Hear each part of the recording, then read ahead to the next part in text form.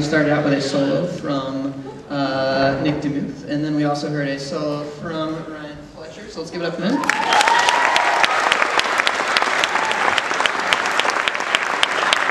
That was a fun one. That was titled "The Chicken." Go figure. The next tune we're going to be playing for you, uh, we're going to slow down a little bit. This is going to feature our lead alto saxophonist Tess Freeze on Isfahan.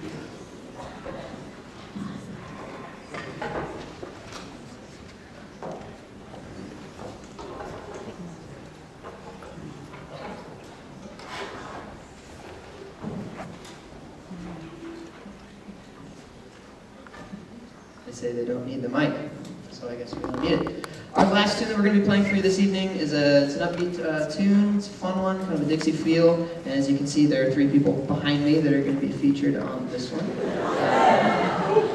You'll, you'll, hear, you'll be hearing from uh, uh, Foster Robertson and Abigail Snooty and Ryan Fletcher over here. Uh, this is Ain't She Sweet.